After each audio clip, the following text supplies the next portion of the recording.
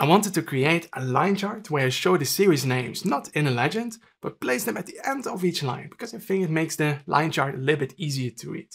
Now I thought this would be easy, however, it took me on quite a long journey where I had to write a few DAX measures, use calculation groups, and try the charticulator. Now let's see what the option is that I finally went for.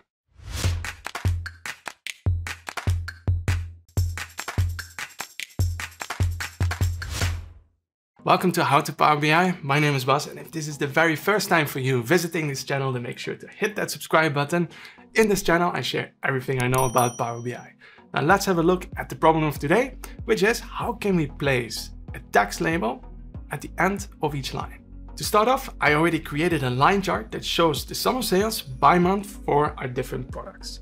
Now I also already added data labels, but I only want to show the very last one and actually I don't want to show the value, but the name of the series. Now for this, we first need to create a measure that figures out, okay, what is the last date that we have in our sales dataset. Now, once we have that, then we can figure out, okay, what the last data point is for each line, and only when it's the last data point, then show our data label. Now let's start off with the last date measure. So I go here to my sales table, add a new measure, and let's call this one last date.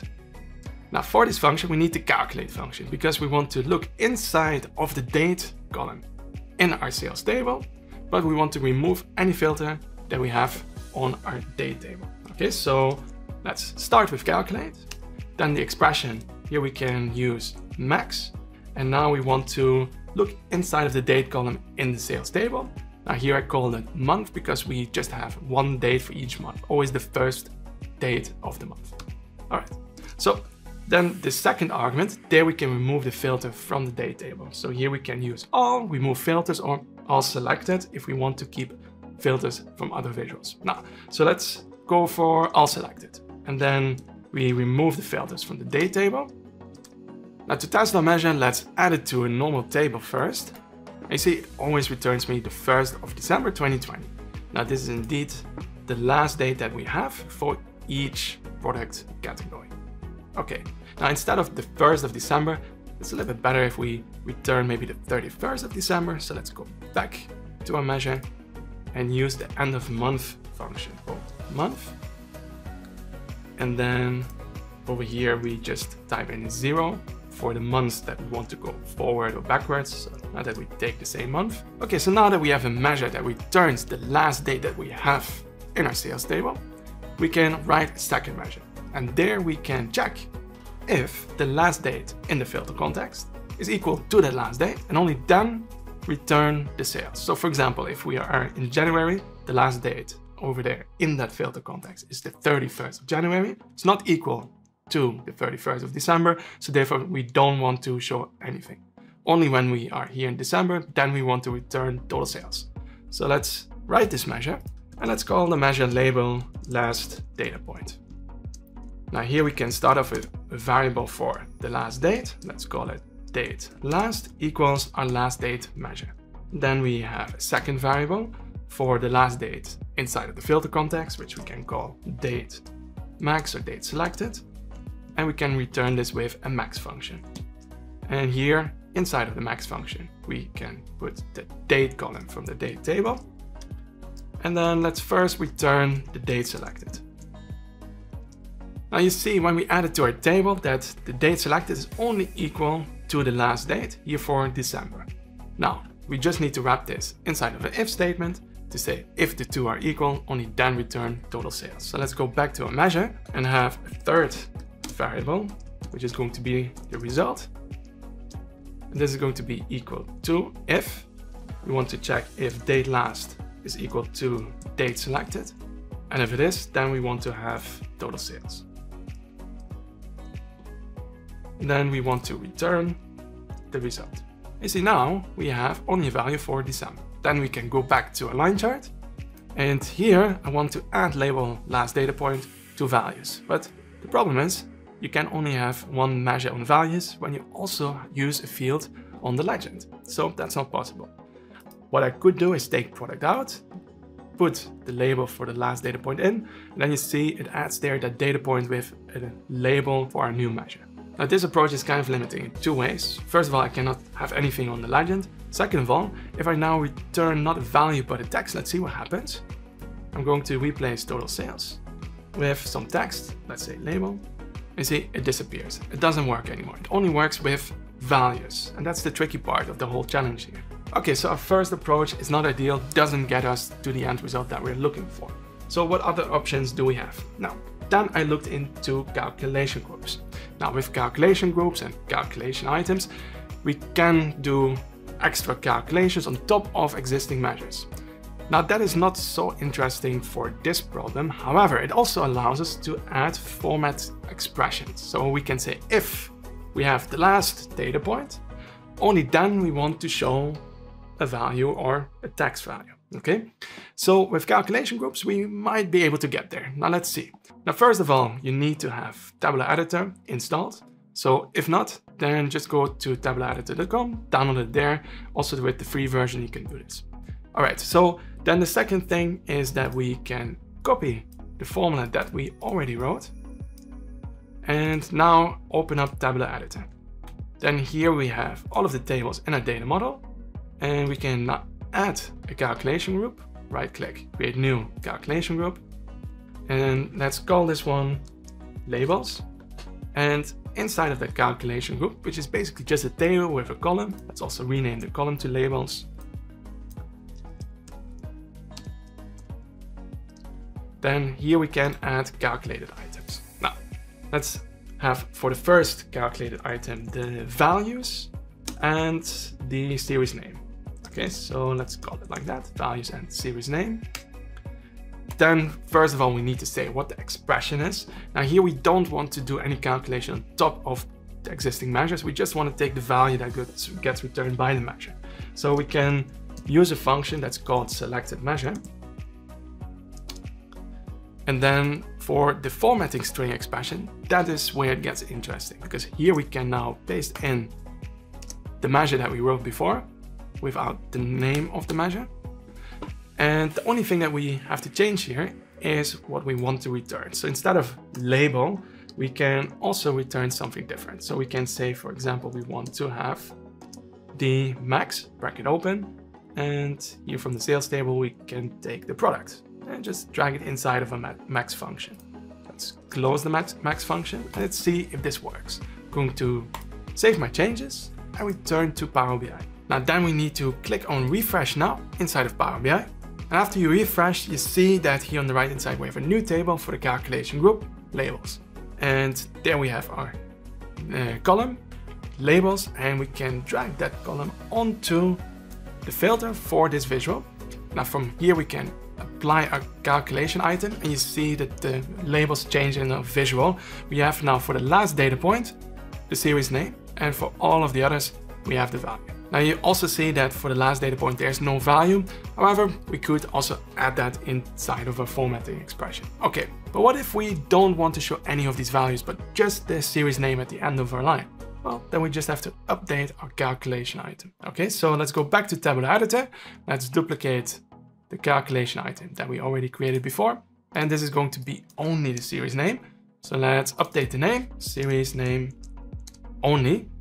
And the only thing that we want to dif do different here is the format string expression. So instead of having here only max sales product, we can add something for the else statement. So here we can do a quotation mark, space, quotation mark, and now click on save. We have now a new calculation item, which means we have to refresh inside of Power BI Desktop. And then here we can switch inside of the filter section to a new calculation item. So that's going to be the series name. You see, all of the values disappear. We only have the label for with the series name at the end of our lines. However, where's the y-axis? The y-axis disappeared. And this is where it gets a little bit weird because the y-axis only shows when you have a value label for the very first data point, which is over here January for audio. So it looks at what is your first series, audio alphabetically, that's audio. And then the very data, uh, first data point that we have here is for January.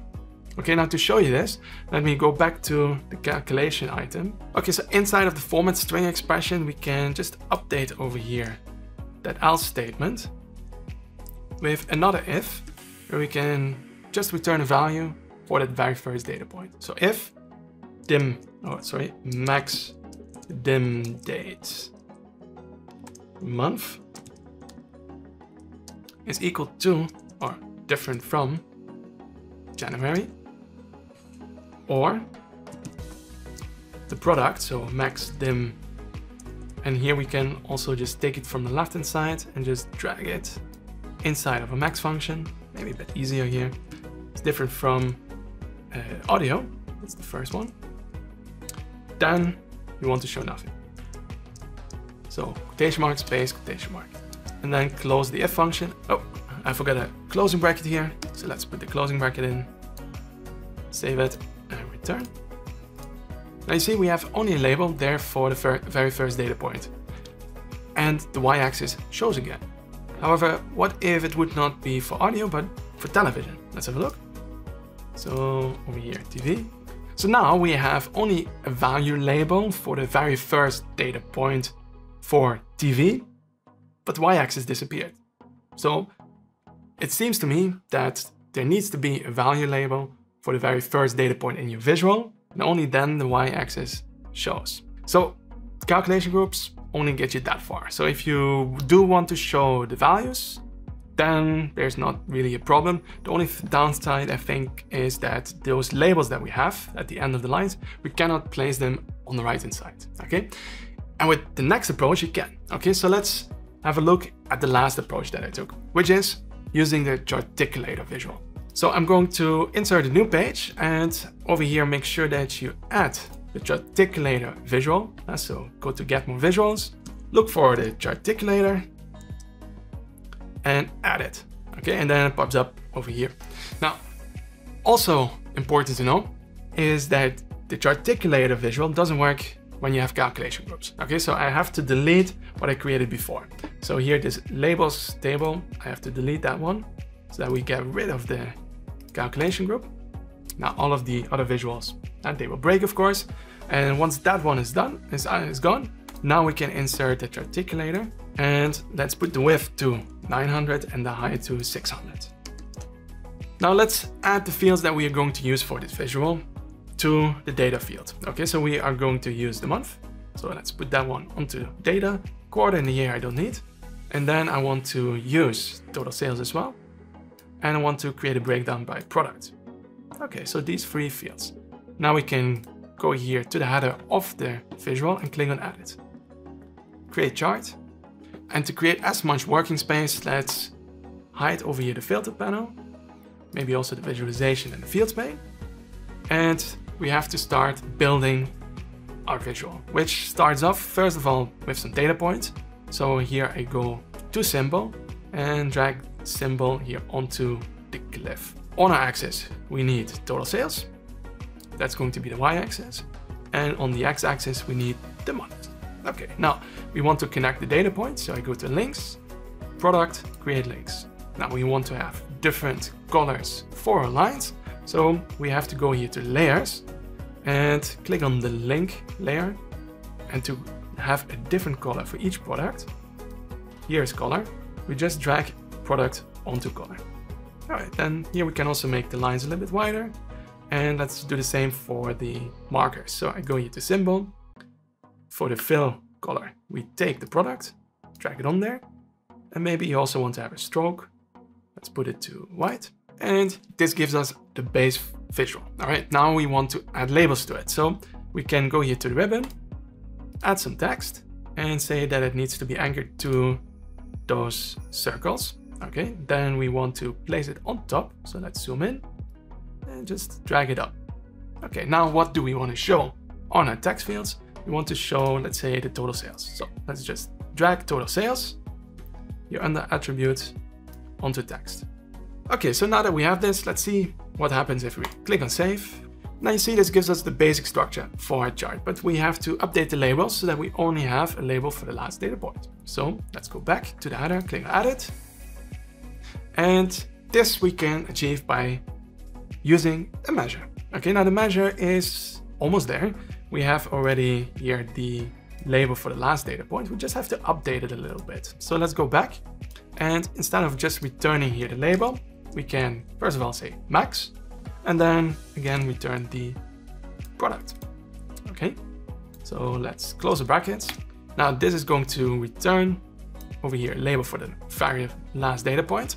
Now then for the else statement, we can also return something. So here it is important that you also return text then, so the form which the format function does. So format, and we want to return total sales. And the format, well, here we can define our formatting string. Now, for example, 0, 0.0, and let's say we want to show in thousand, so I'm going to put a comma right in front and close the format function. Now, instead of having total sales onto our text field, I'm going to change that. So let's select the layer text one. Here on text, I'm going to use label last data point, but it doesn't show up in the fields yet. So I have to add it to the data panel. So let's add it there first. As soon as you do that, pops up, uh, pops up also here in the fields. Now we can use that for our text layer. So let's select the text one and drag label last data point onto text. Now you see we have values everywhere. And at the end of our line, we have the label. Now, what if you only want to have the label? We just have to update our measure and say that we don't want to show anything. You see here we don't have the problem with the y-axis and we have more flexibility in where the labels uh, show. So for example, I can go here to the text layer and then scroll down to the alignment and I want to show it on the right hand side. Which is a bit counterintuitive here, you have to say uh, left alignment in the middle and then increase the margin. Okay. Then if you also want to have different colors, then you can go here to style and drag product onto color. Now click on save, go back to your report. There we have our line chart with a y-axis and the series name at the end of the last data point. So quite a lot of effort to get to this result. And of course, I also we hope that this gets easier going forward. However, for now, this is a workaround. Maybe you know a different workaround to get to a similar result, then let me know in the comment section below. And if you got some value out of this video, consider subscribing and I hope to see you in the next video.